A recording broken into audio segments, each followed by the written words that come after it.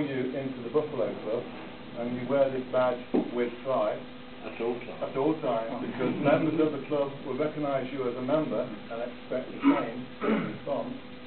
You are now an official member of the Buffalo Club.